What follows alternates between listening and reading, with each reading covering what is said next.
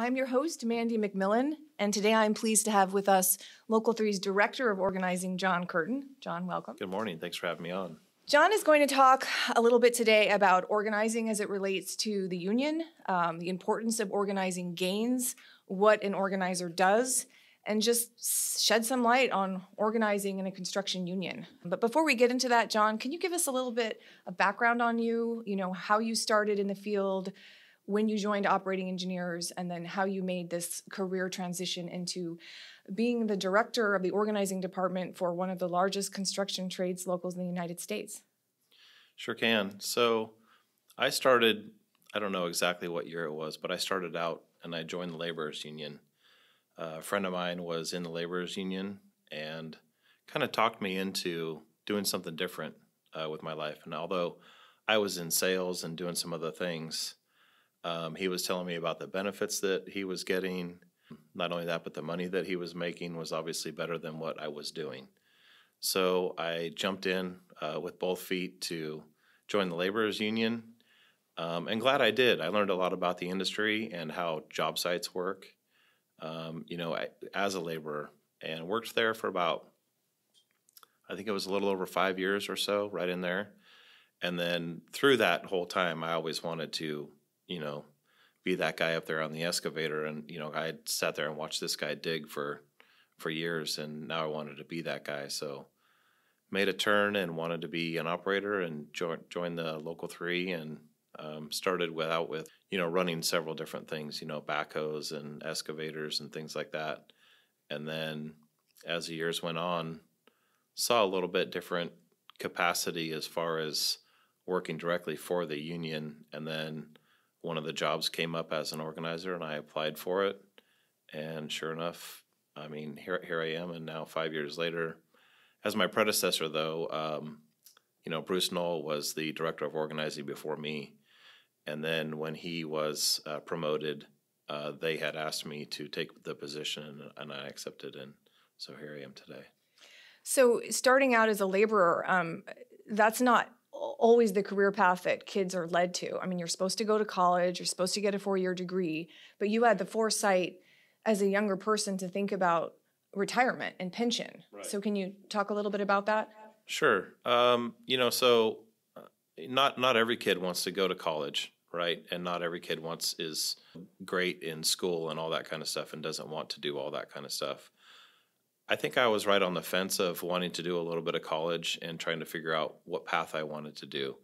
But I saw the benefits in the union as far as retirement and things that they offered as far as healthcare and as you get um, older and um, in those capacities you want to know what you're going to do for yourself or how they can help you in the rest of you know your life and so i saw that those benefits the writing was on the wall as far as you know, pension, you know, health and welfare for yourself, or and even at that time, you know, wanting to start a family, um, you have to look at all of those things for sure. So, John, what does a local three organizer do? Um, a lot of our listeners might have no clue and know it's not, you know, straightening out your desk. What does a normal day look like for an organizer? Well, a normal day is usually getting up uh, before the chickens are up. Absolutely, they're out there wanting to talk to the hands before they actually get out to work. And some of the things that we do out there, going out and going talking to those hands, because we want to find out who the best of the best is out there. And if they're not with the union yet, then maybe we can offer offer them some opportunity. So they're they're out there first thing in the morning, going out and talking with people, and then the rest of their day usually ends up um, with going to go find that contractor that may be a non-union contractor and we go and we build a relationship with them and we start talking with them about the benefits of the union and how we can help them grow. And there's lots of there's several different things that we can do to you know help them grow. Typically why a, a contractor comes to us or, or we start chatting with them is because they want to grow and they don't know how. And they're also tired of putting ads on you know whether it's indeed Craigslist. or craigslist or yeah or something like that. And they'll have to do several you know months of training for that individual to you know run that tractor whether it be you know a backhoe or an excavator or something like that where we have those people they're already skilled and trained and we have those those folks And so we can teach them about the benefits of being able to utilize our people when you need them and then when you not when you don't need them so much. So there might be a new job coming up where they need 10 people and or 10 operators and they don't know how they're going to man this job, right? And so they call us and they want to know how they how they can do that and get those folks out to work for them and we teach them how to do that.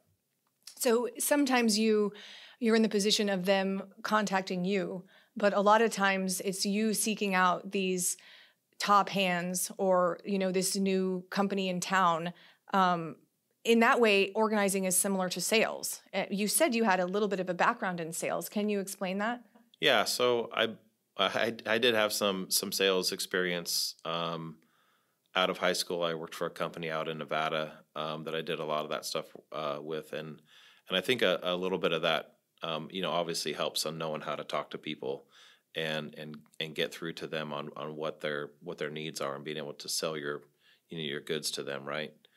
So when they when they come to us um, we're going to sell them on you know the union on local 3 is what we're going to do we're going to teach them everything that they need to know about us and how we can how, how we can help them and what's cool for you is you're not just selling a product you're selling uh, something that you're personally very passionate about because it's given you a livelihood. Like you've seen the benefits of your life in having joined Local 3 and, and what it's done for families, members, contractors. So it's more than just a product. It's a it's a career path. It's uh, a retirement. It's growing your business. Yeah, so when you go to them, it's it's very personal. Yeah, absolutely.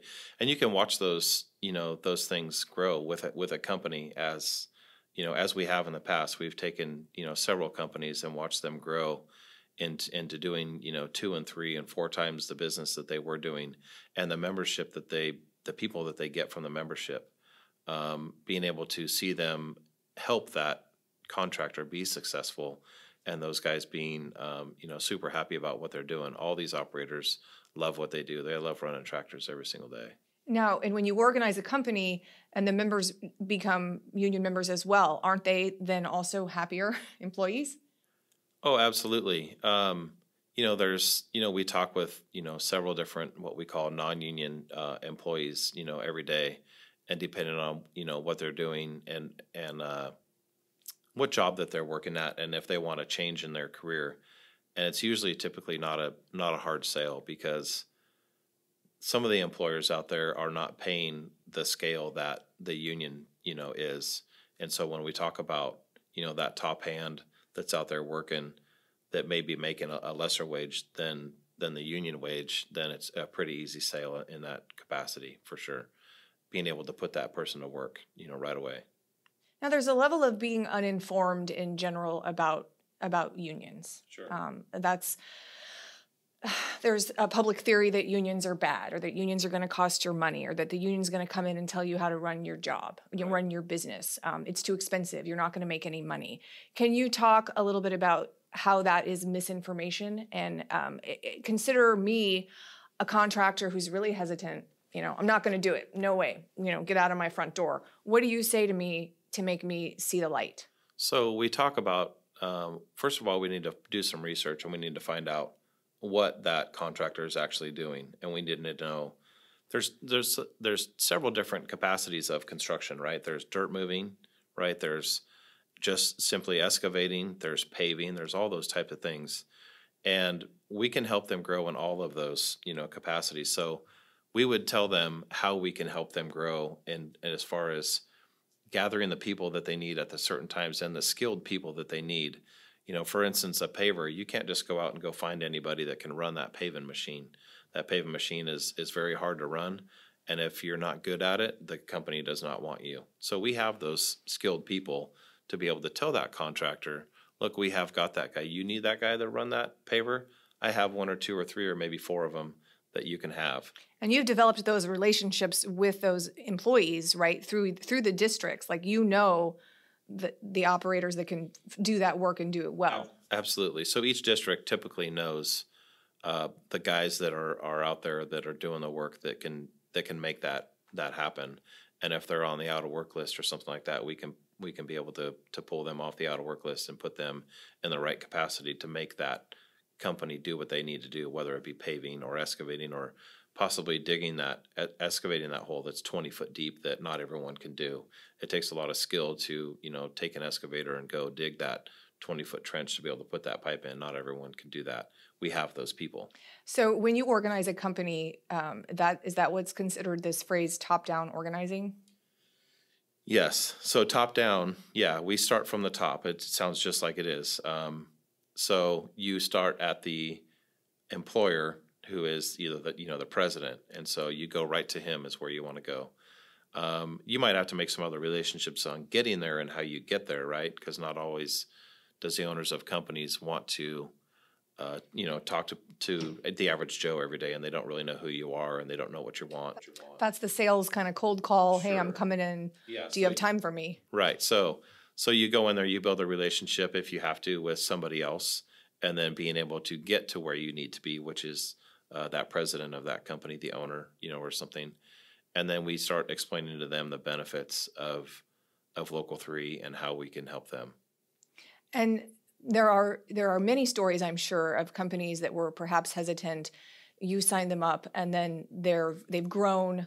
Their their market share has increased. Um, and uh, can you talk a little bit about uh, a specific, a positive story where that was the case? Sure. I mean, we've had, I don't want to mention, you know, all the contractors out there. There's several of them, right? Um, but yeah, there's several cases out there where we've taken a company that has had, you know, between two and four guys or something like that. And then we've tripled their business on them calling us and looking at us and going, hey, I've got this upcoming job and I don't know how to man it and I've got 10 more people, but if I if I don't do it, I'm going to miss out on this job. Like I don't I don't have the people. So I can't bid on this work. So if I can take 10 guys from you and be able to man this job, well, that's fantastic. So then he does that. We signed him up, right? He takes the 10 people and he does that. And then he looks at more opportunity and goes, there's another job down the street that's, you know, X amount and we want to do that job too. But I still don't have enough people. Well, you can still call us and we still have the people, you know. So we've seen those companies uh, grow time and time again. We, I mean, we do it every day. There's companies out there that uh, all all over you know Northern California, from Fresno all the way to to the Oregon border that you know we could talk about all day. The success stories where Success companies have grown. absolutely. We talked about top down organizing, bottom up organizing is the reverse of that, right? So it's like when a unit specifically wants to be organized. You have to go in there and talk with the employ- employees is who you talk to, and whether they want to take and make that company a union company. There's a whole process through the uh, National Labor Relations Board, uh, process that you have to go through to be able to do that. It's not a it's not an easy process, and it, it takes time, you know, and it takes building uh, relationships for sure. that trust and then And you you're you have a lot of obstacles to overcome a lot of companies hire people to uh, strong arm the employees into not doing that the, the, the term union busting is real and exists today correct It, it is absolutely for sure, and it, and it does exist. And uh, we recently did have that happen to us, and we tried to bottom up a company um, down in the San Jose area where they hired uh, folks to come in there and badmouth the union to the employees. And so then the employees listen to them, and we're trying to, you know, go back and forth and teach them, you know, that that's not right, and what they're telling you is not true. Um, and then being able to have an election, and then the employees decide all of that stuff because it, it comes from the employees, not the employer side. now you have um, a staff of about how many explain sort of the jurisdiction that your organizers operate in Sure. S- So we local three covers um, in in California. We cover from the Kern County line all the way to the Oregon border, and in California we have got nine organizers across the state, and then we've got one researcher that is in Sacramento full time. And those guys go out, like we talked about earlier, about hitting it early every single day and making building relationships and whatnot every day. what is it that you tell them you send them all a text in the morning that says what if you're not pissing excellence, then go back home. so yeah, and then I've got additionally we've got one um, full time uh, organizer in Hawaii that covers all the islands in Hawaii, and then we have have one that covers all of northern Nevada, which is uh, northern Nevada is Local 3's district, and then the all of Utah, the whole state of Utah. one guy that covers the whole state, and that's all of our jurisdiction as well. Those guys put on the miles. They put the miles on their They cars. It's, uh, it's pretty far to go from Reno to somewhere like Elko or or out to Ely, Nevada. You know, places like that. In uh, you know, in Utah, driving all the way down to St. George to go do work and go find new contractors and things. It's a pretty long haul. And they um it's not easy, right? I mean, they're told no, they're told to get out, they're told to go away. Um they're out there like binoculars, like looking at jobs from far away, getting intel. I mean, I've spent some time with a few organizers back in the day, but what um I guess tenacity is something that they need to have perseverance. Yeah, per, it's persistence. Yeah, and, and it's persistent. I mean, we just got to go back every time, and we no no one likes the answer no, of course, right? But uh, but we're not going to quit trying, and then we also need to study that company and find out what direction they're moving in. Are they still uh, going to be working in the same capacity?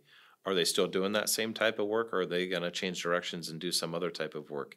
And if they're going to do the other type of work, maybe we have some other people that we can offer them, or Another something that we angle. Yeah, I mean, are they going to stay around here? Or are they just here for the short term?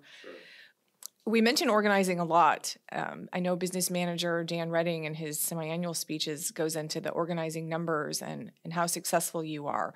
Why is organizing so important to Local Three? Well, it's about the membership and it's about creating job opportunities and more market share uh, for our for our members so that when they are looking for that next company that we create you know more of those and if we're out there organizing and signing up those you know companies every day that there's obviously more market share there right? And then that creates opportunity for them to be able to look at you know some other company and go to work for them um, people change companies all the time and whatnot and go here and go there so if we have more of that market share out there that's creating more opportunity for our members Now, for the non-union skilled operator who is just afraid, afraid to join Local 3, what do you tell him or her and, you know, why are they so hesitant at the beginning? So usually they're so hesitant because it's change. Um, and, you know, we, we try to help, you know, the process of, of that change. And now they're going to be a member of, of a union and they don't know, really know how it goes and all that kind of stuff.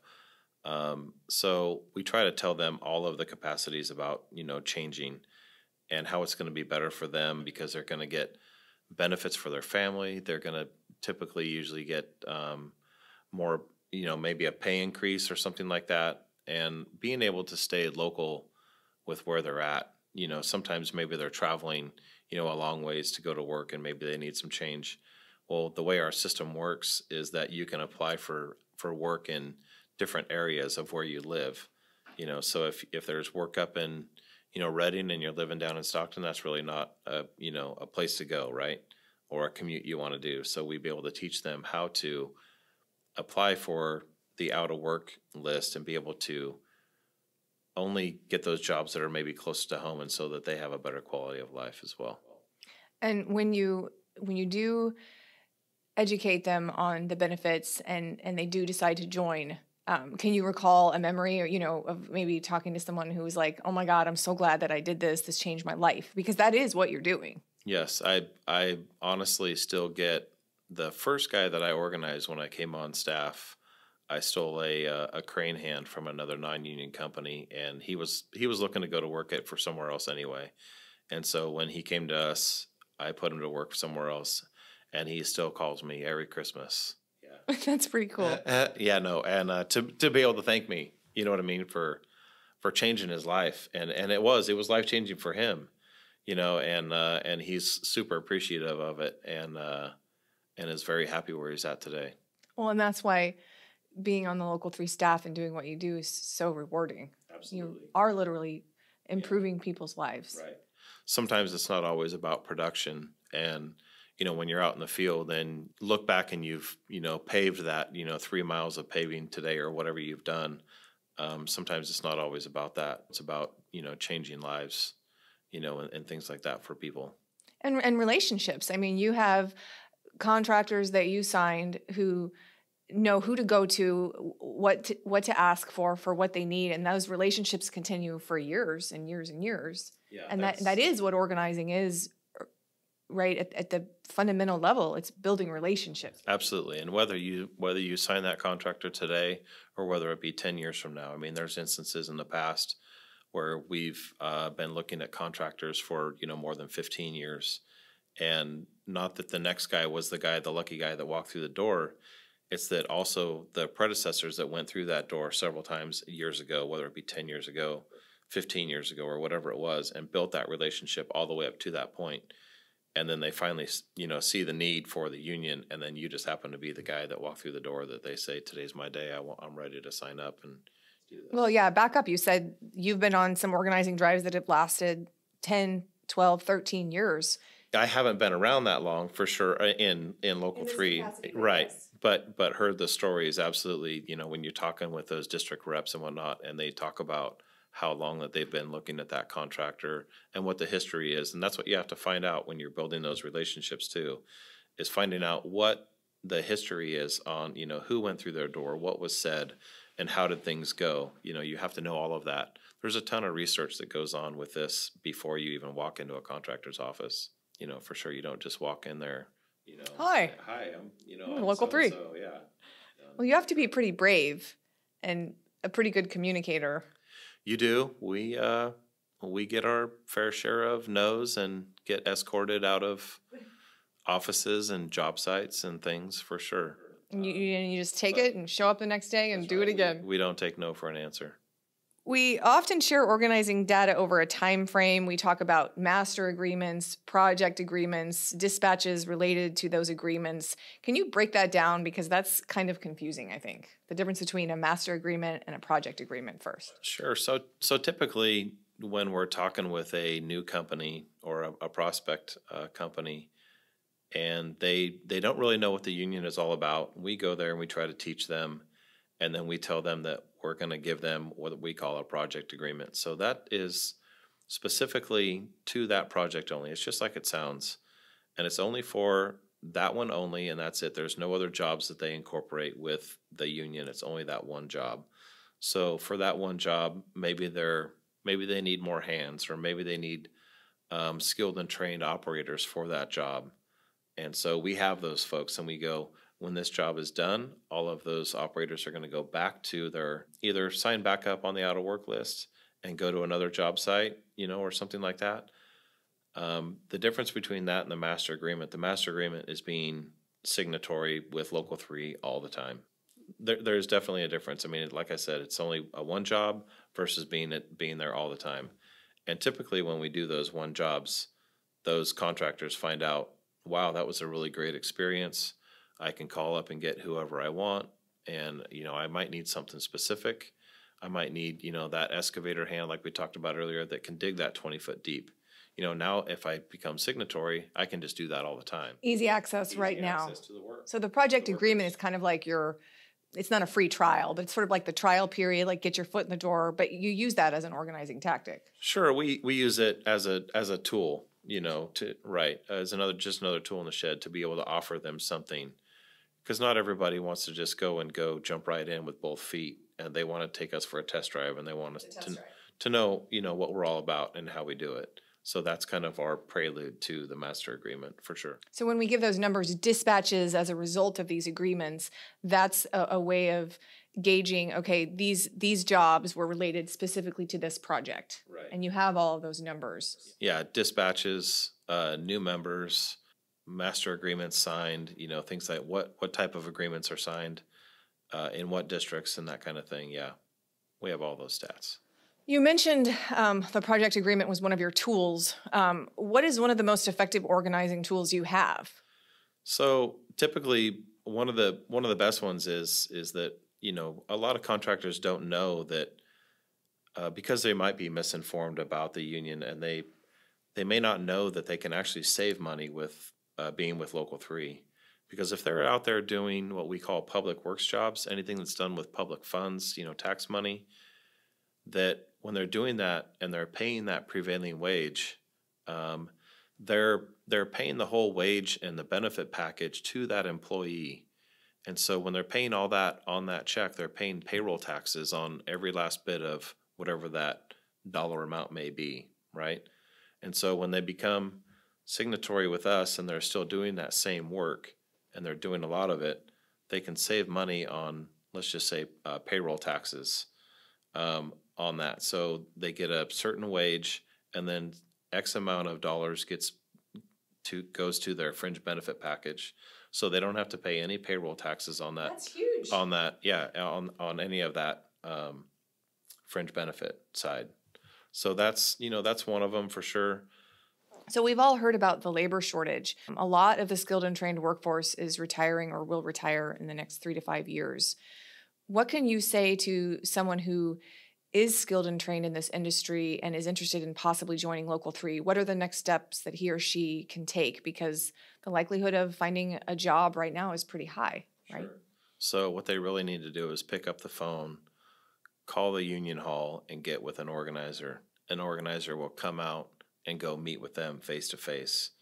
And possibly even, um, if they're already running, you know, tractors or they're doing something like that, we can go out and go watch and see what their skill level is and be able to maybe possibly, you know, place them somewhere where they would be needed. But as far as the rest of that, there's always our website that they can go to. That's E oe3.org.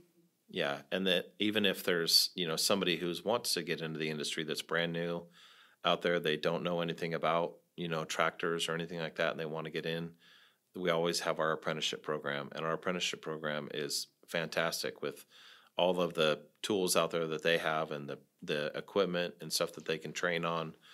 Um, so what what they have to do is go to our website and then they start there with, with the apprenticeship program.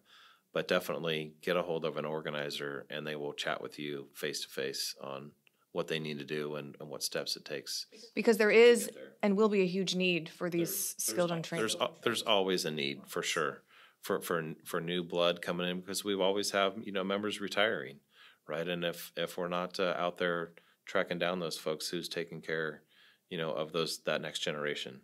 So we're always looking for those, uh, what we call new blood, I guess.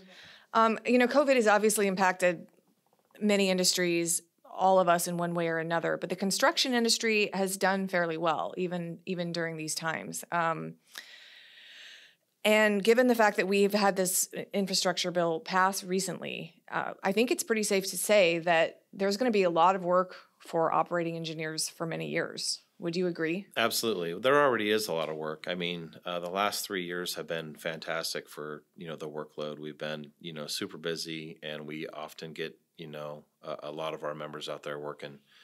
And when the infrastructure bill, you know, passed, there's still a time lapse on when we're actually going to see a lot of those public funds and whatnot come out, which um, is not going to be, you know, right now, and it might be in the in the short future you know, maybe by the end of the year, we'll start to see some of those funds and some of those projects come out.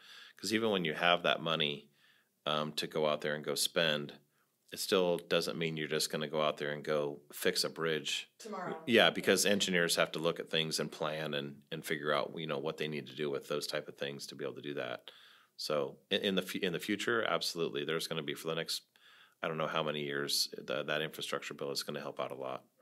So, if what I'm hearing, John, um, if you have experience, you should check out our website, E oe3.org, and get in touch either with the district office or the organizer there. And if you are a company interested in becoming signatory to Local 3, uh, same experience. Absolutely. Um, and there's really no reason on earth why you wouldn't want to become signatory to Local 3. Do you have any parting statements to people who might be on the fence about that? No, I think it's just uh, about uh, reaching out and, and finding out what Local Three can do for them. You know, um, people you know have been hesitant before, and, and I've heard this many a times from you know people that I've had personal experiences for. I don't know why I didn't call you folks you know three years ago, you know, or something like that. I was having you know trouble back then, and I, I appreciate all the help you've given me and the people that we've got. So if if you're out there and you're you're looking to do something different and you want to get with us uh, call call your local you know hall and get with an organizer and we'll come out and chat with you for sure. Well, thank you very much, John. Do you have any other parting words? No, I think that that's it. Thanks for having me on. Appreciate it.